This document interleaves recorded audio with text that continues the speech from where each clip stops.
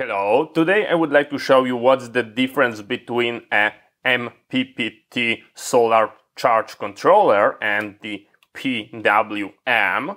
We are going to do a small experiment and you will be able to see exactly what's going on and what's the benefit of using MPPT. I hit the input limit on my Goal Zero Yeti 400, so I was either by a much more expensive, bigger unit or use external controller. And of course, I go with the better solution, which is external controller. And I'm going to hook it up. And the money that I would need to spend on the Goal Zero, I will better invest just for a battery additional. First, we need to understand how we actually charging uh, chemical batteries, and I believe that's going to be true for all of them. We are recharging them with current, and voltage is absolutely not in the equation. The only thing that voltage need to do is allow the current flow to start the chemical reaction. And that's absolutely only thing. The voltage doesn't matter. So let's make a small example. If I would have a SLA battery on my desk that have a 10 amp hour and I'm going to grab my lab power supply and set it to a 15 volt, attach the alligator clips, set the current limit to 1 amp. After 10 hour, I'm going to pump into that battery 10 amp hour and make it a fully charged. If I'm going to increase the voltage to, for example, 30 volt, but with a 1 amp hour limit, and we are repeating the process, after 10 hour, our battery is going to be also fully charged, and we've got absolutely no benefit. It will not make it charge faster, slower, it will be exactly the same, we are passing exactly the same current and exactly the same amount of amp hour. In the 90s, you've got a lot of absolutely crappy flashlight that you stuck directly into the AC socket and inside was a resistor and the diode and that was basically a recharging battery and if you remove the battery put your probes you are going to read like a 300 volts DC but after applying the battery, it will limit the current by the resistor, it will load it, and you are going to read a 1.2 volt, just like you would expect of the, of the battery, because it's going to be sinking and flowing the current and self-regulating. Other modern example might be chargers with a desulfation process, because they are going to be feeding your battery with a high voltage to allow the sulfate to break, like a high voltage pulses, and it doesn't really matter for the battery what is the primary reason for having a charger controller. It is to limit the voltage so we do not overcharge our battery and we do not cook it. That's the main reason why we would like to regulate the voltage and make it in a safe floating level or for cycling it can be higher.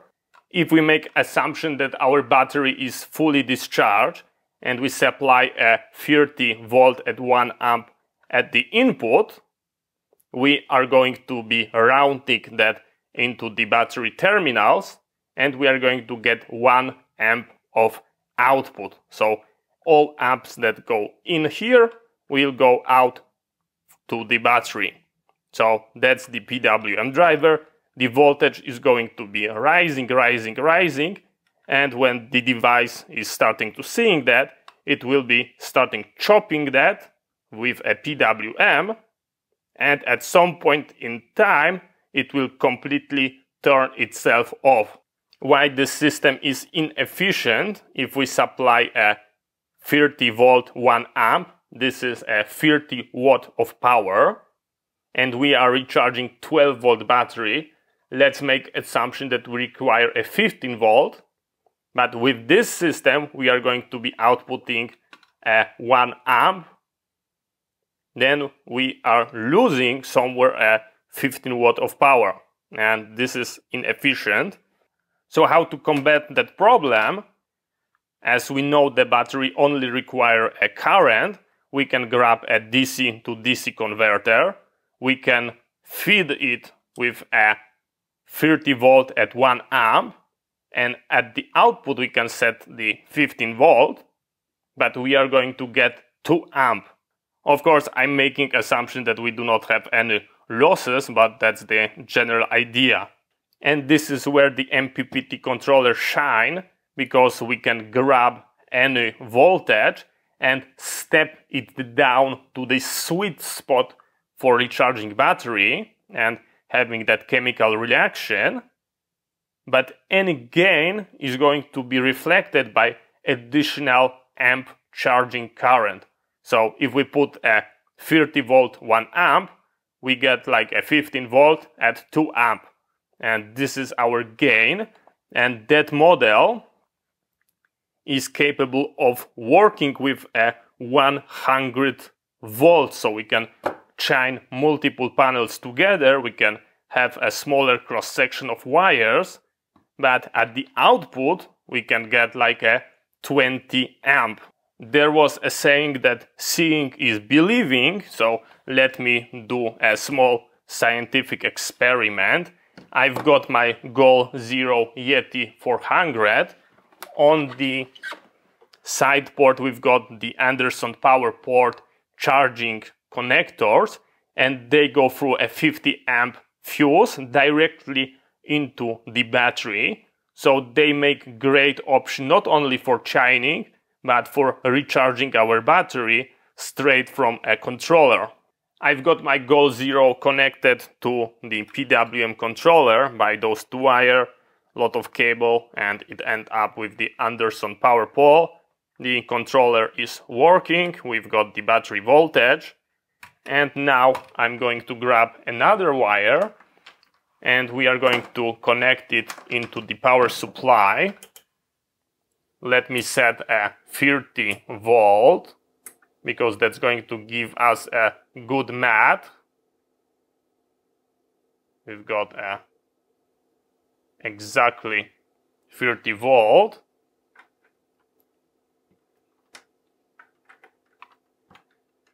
I'm going to short my leads and we are going to adjust the current to get exactly a 1 amp because that's what's going to give us a good mat. So we've got 1 amp, 30 volts, 30 watt of power. Now I'm going to connect it into the solar input. And let's observe what's going on. We've got a charging process going on. As you can see on the voltmeter on the power supply, we are reading a battery voltage, which is 12.5 volt, and that's because the solar charge controller is basically shorting out the input to the output. We do not see the PWM action, and we are pulling a 1 amp from the power supply. If I'm going to grab my clamp meter to the DC, the power going into the Goal Zero is around 1 amp and the current from the power supply is exactly the same. So we've got a conversion one to one. So currently we are losing a 15 watt of power that can be used for recharging our battery. Let me put a MPPT and let's see the difference. MPPT controller is connected to the battery. It is currently working. Let's take a look at the power supply. So you see that nothing changed. We've got a 30 volt and at the short circuit we've got a 1 amp. Absolutely nothing changed into that setup. And I'm going to connect into the solar input our 30 volt at 1 amp. And let's take a look at the power supply. What's going on? The MPPT is tracking the maximum power point and it's self-regulating itself to get maximum power transfer and we've got a 1 amp but let's take a look at the voltage we do not dragging it into the battery terminals it's nicely regulating checking the maximum power that we can pull without dragging the voltage down and we are pulling a 30 watts let's see how does it look on the clamp meter when I'm going to measure the input, we are going to get exactly 1 amp. But at the output, something magic is going to happen. And we've got a bonus of additional 1 amp.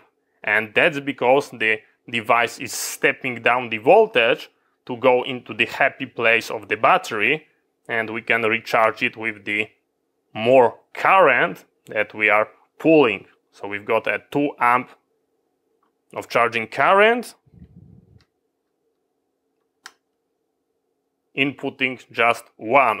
Absolutely do not think that this device is going to give you a 50% boost because I just grabbed those value to give you a good and easy to understand math. But this controller is more like a step down converter. On the MPTT, you will always see an increase of your energy going into the battery. And that's because even if you grab a single solar panel that is rated 12 volt, it is actually not a 12 volt, more like a 20 volt open circuit. And any difference between that around a 14.4 volt for a SLA battery and the 17 volt of the maximum power point is going to be your absolutely free gain that you can, are going to get for for a whole year. So every time when this is running, you are going to get that couple percent for free. So in my opinion, it is always best to go into the MPTT. So let me just lower down the voltage let's go to something more realistic like a 17 volt let me go into something like that we've got a 17 volt at 1 amp and as you can see we are still pulling more than we are inputting and this is your realistic absolutely free gain of using a MPTT. That's going to be a real use case, not a 50% gain, but a small, smaller one, but a constant one. And of course, that's going to work absolutely beautiful on the multiple solar panels chained together to give you a maximum possible charge current into the output after stepping down the voltage. But as you can see, it's working absolutely beautiful. So thank you very much for watching. I hope you find that interesting. See you next time and bye bye.